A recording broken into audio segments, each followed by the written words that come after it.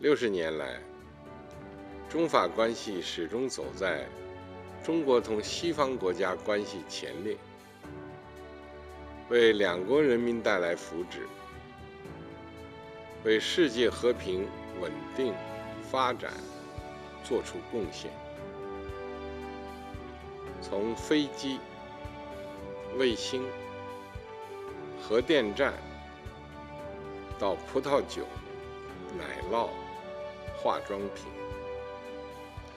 中法合作既有高精尖，也能接地气。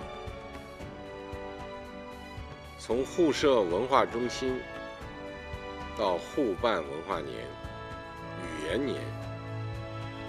中法人文交流为世界文明互鉴作出表率。